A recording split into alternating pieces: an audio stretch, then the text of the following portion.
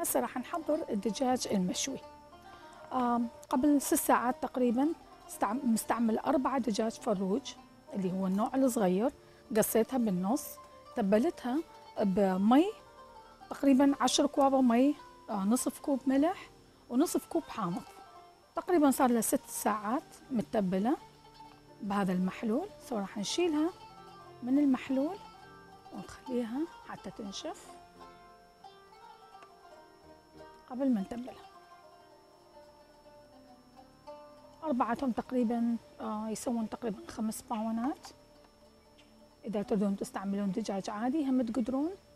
بس طبعا هذا الدجاج الفروجي يكون أكثر آه، ينضج بسرعة يكون طعمه طبعا أحسن ويكون كلش so نخليها تقريبا دقيقة دقيقتين حتى تنشف.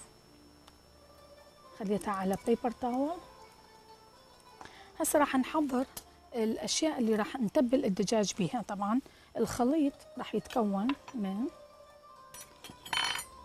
نص كوب عصير الحامض نص كوب زيت الزيتون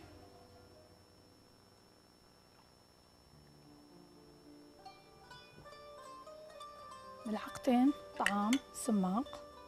راح يضيف نكهة كلش طيبة. ملعقة كوب فلفل أسود.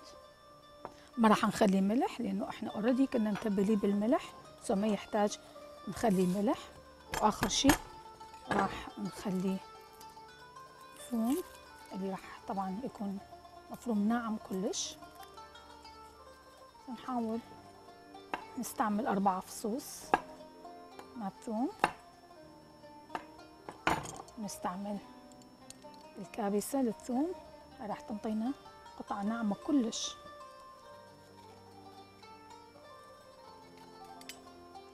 سنحاول نخبط كل المواد اللي استعملناها. خليط كلش طيب وكلش راح ينطي نكهة كلش مختلفة للدجاج بس إيش راح نحاول؟ راح نحاول بين الجلد وبين اللحم نخلي خليط السماق.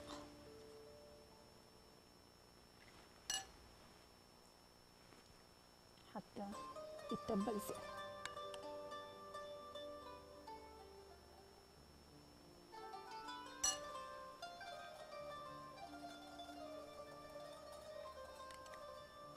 تنقيع الدجاج بال- بالملح والحامض همينه يساعد الجلد حتى يكون أسهل. حتى ينفصل عن اللحم.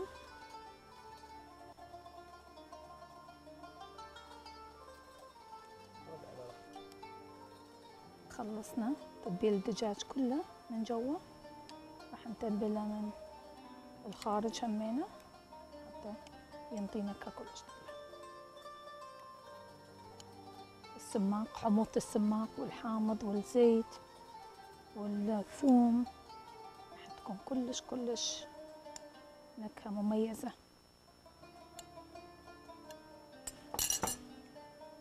نخليه على صفحة دقيقة دقيقتين قبل ما نشيش أو نطبخه بالتنور. هسه الدجاج حاضر للتشيش سو راح أخذ تقريبا على كل شيش راح أقدر أخليه أربع قطع.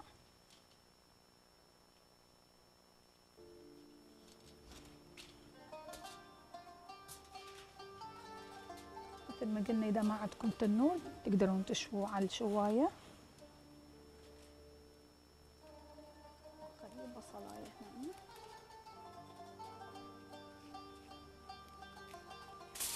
حتى يحمي الدجاج القطعة ال- الجوا من الحرق وحتى همينه ما ينزل. هذا راح يروح بالتنور.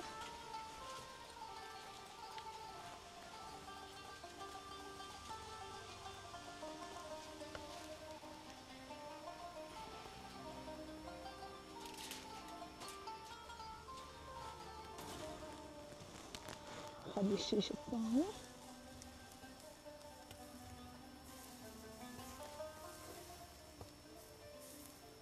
حنغطيه تقريبا ثلاثة أرباع مغطى. ونخليه ينطبخ آه تقريبا 15 إلى 20 دقيقة. راح نشيك الدجاج تقريبا صار له 12 13 دقيقة. ينطبخ بسرعة كلش بالتنور الحار. And it smells very very good.